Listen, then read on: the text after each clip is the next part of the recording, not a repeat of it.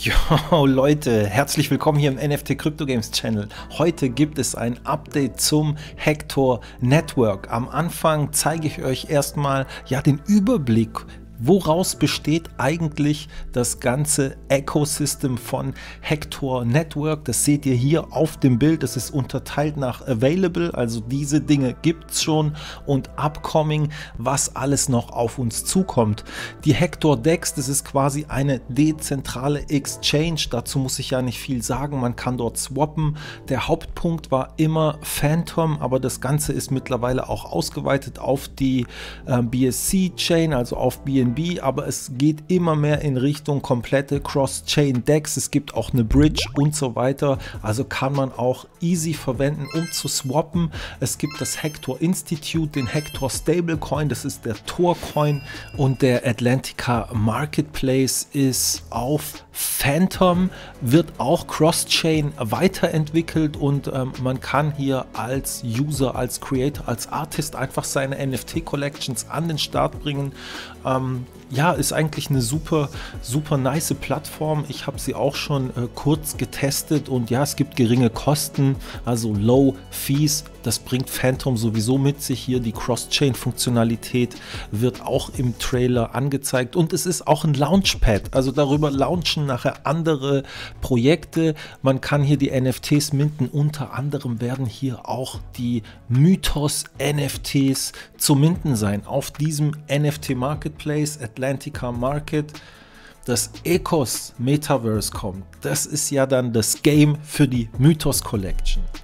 Die Mythos Collection, hier seht ihr sie nochmal. Ich habe sie schon in verschiedenen Clips hier vorgestellt. Es gibt ja zu jeder Karte einen eigenen Trailer. Das Ganze basiert auf der griechischen Mythologie. Das sind animierte 3D-NFTs und als Holder von diesen NFTs kann man dann im Ecos Metaverse mitgamen. Das wird aufwendig konzipiert und momentan umgesetzt mit externer Hilfe.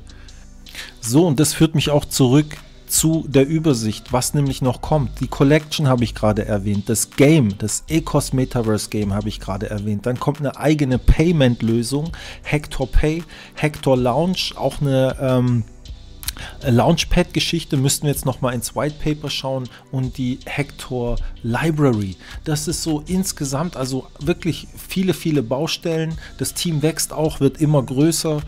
Auch sind der Hack und der Tor-Coin mittlerweile auf OKX auf einer weiteren DEX gelistet und dort auch available. Wenn wir uns das nochmal anschauen, Hack ist ja wie gesagt der hauseigene DeFi-Coin so gesehen. Hier mit, ich habe gerade Europreise hier 3,25 Euro im Monatsverlauf zu sehen.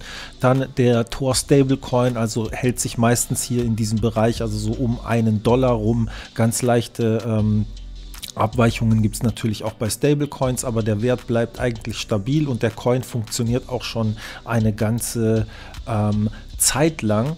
Dann, wie gesagt, läuft auf Phantom. Phantom hat ja so im letzten ähm, Zeitraum, vor allem hier in den letzten drei Monaten, die wir so sehen, nochmal einen wahnsinnigen Anstieg ähm, hingelegt. Und ich kann mir auch vorstellen, dass Phantom im nächsten Bullenmarkt nochmal weiter nach oben ausschlägt, weil es ist eigentlich ein nices Projekt. Der Hauptentwickler André Kronier ist auch wieder da mit am Start, wenn ich richtig informiert bin. Und deshalb ist die Phantom Chain eigentlich auch keine schlechte Wahl. Außerdem ist Hector Network ja offizieller Champion-Partner von Borussia Dortmund.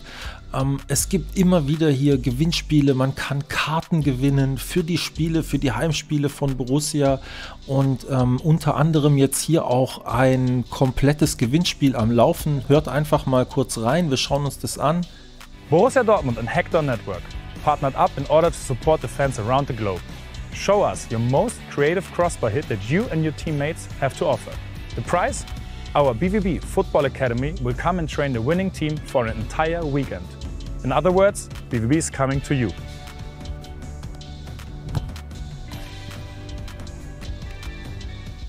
Yeah, also hier die, die Crossbar Hit Challenge, Hector Network und BVB. Das heißt, Fußballteams können hier teilnehmen. Wenn ihr jetzt begeistert seid, dann müsst ihr einfach so ein paar Crossbar-Hit-Videos ähm, erstellen und könnt ihr hier auch teilnehmen. Und ihr habt es ja gehört, der BVB kommt dann zu euch und ähm, trainiert euch quasi. Das läuft über Instagram, die Challenge.